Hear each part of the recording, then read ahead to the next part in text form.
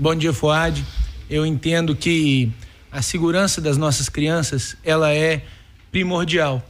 E os números apontam que cerca de 60% das unidades de ensino da prefeitura estão sem o AVCB, o auto de vistoria do Corpo de Bombeiros. O senhor não acha perigoso expor essas crianças a risco? E por que o senhor deixou a situação chegar nesse nível?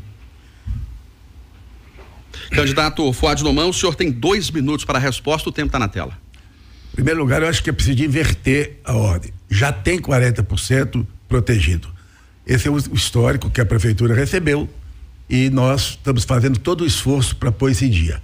Mas independente de ter o AVCB, todas as medidas de proteção das crianças estão sendo adotadas. Nós não temos eh, nenhum tipo de problema nesse caso. Nós temos a patrulha da guarda que acompanha, a patrulha da guarda que faz a segurança dessas crianças, nós temos as escolas, as professoras, os professores, todos muito, todos muito atentos a esse processo de proteção das crianças. Eu entendo que o AVCB precisa de ser feito, eh, muitas escolas não fizeram porque viemos aí de um histórico de governos ruins e a gente agora está trabalhando para correr, para resolver esse problema.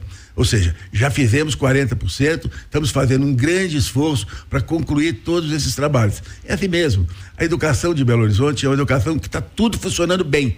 Né? As crianças estão cuidadas, bem alimentadas, as professoras são cuidadosas, nós estamos é, é, olhando muito para esses aspectos de cuidados. Nós não temos nenhum caso é, muito sério de, de segurança, aliás, caso nenhum de insegurança dentro das escolas. Por quê? Porque, como eu disse no início, a guarda tem uma patrulha especializada para fazer isso. Tem um botão de pânico nas escolas. As professoras estão todas muito bem orientadas. Os professores estão muito cuidadosos com as crianças.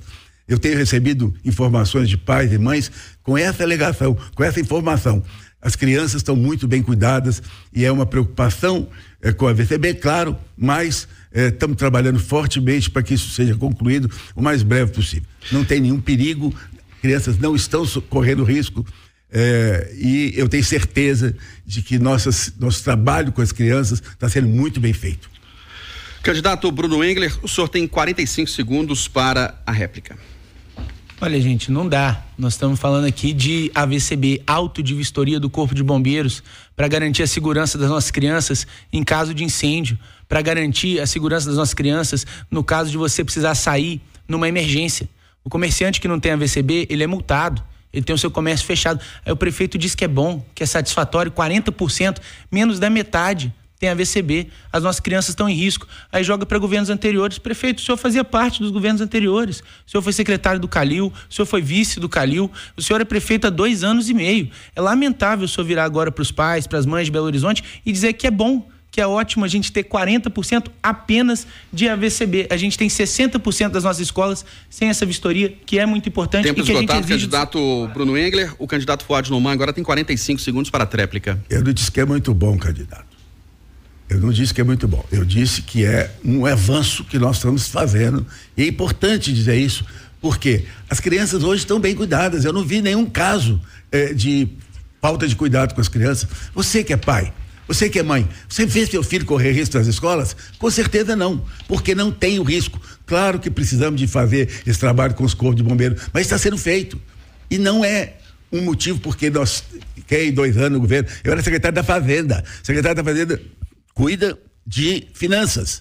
O que eu podia fazer era arrumar os recursos para o prefeito administrar. Quando eu assumi a prefeitura, a primeira coisa que eu fiz foi tomar providências e estamos começando a fazer. Agora, isso não é um processo rápido, isso demora um pouco. Obrigado, candidato Fuad Noman. Agora, o senhor, candidato Fuad, tem 30 segundos para elaborar uma pergunta ao candidato Bruno Engler, tema livre, o tempo está na tela.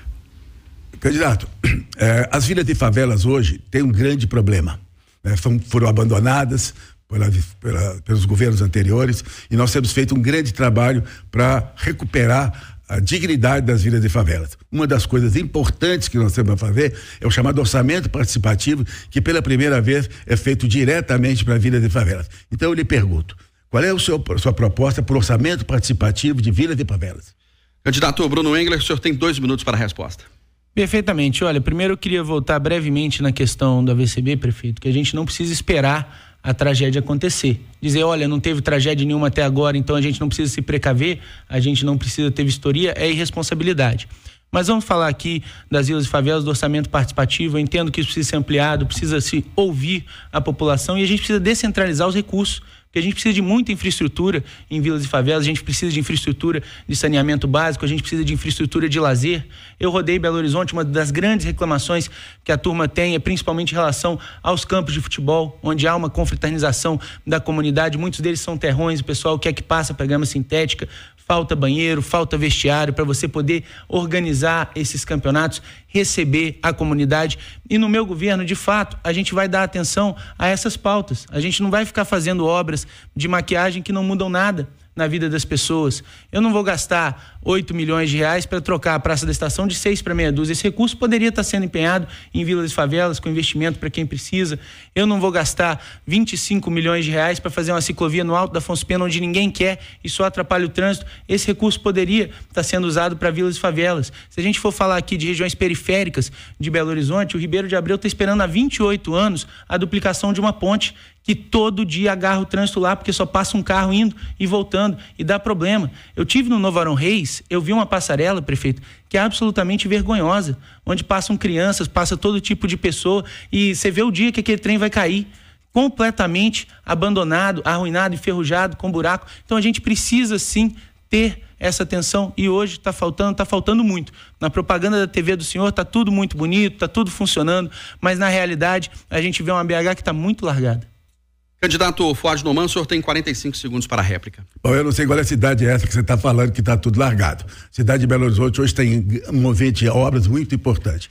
Com relação às vilas de favelas, além da internet grátis que nós colocamos para todo mundo poder estudar, poder trabalhar, poder divertir, nós temos feito grandes obras. Por exemplo, é, você está falando que essas obras são jogar dinheiro fora. Não é não.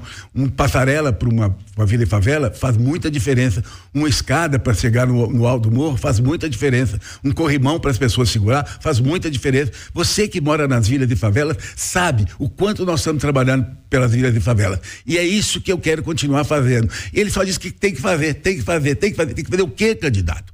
Diz suas propostas. Falar que vai fazer, que vai fazer, Obrigado, candidato Fuad. Candidato Bruno Engler, o senhor tem 45 segundos para a tréplica. Olha, gente, você que está nos ouvindo percebe que o prefeito não está prestando atenção no que eu estou falando porque eu falei de obra inútil, foi 8 milhões para trocar a Praça da Estação de 6 para meia dúzia. São os 25 milhões da ciclovia que ninguém quer. O que eu falei que a gente precisa fazer e que eu vou fazer, eu dei dois exemplos. Duplicar a ponte do Ribeiro de Abreu, fazer a passarela do Novo Arão Reis, está caindo aos pedaços na gestão do senhor.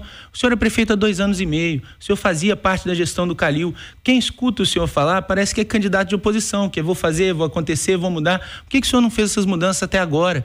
É muito diferente a Belo Horizonte que o senhor coloca na televisão televisão que está tudo funcionando e a realidade do dia a dia das pessoas, de um trânsito que não anda, de uma demora para consulta especializada, da fila na educação infantil é muito diferente. Tempo esgotado.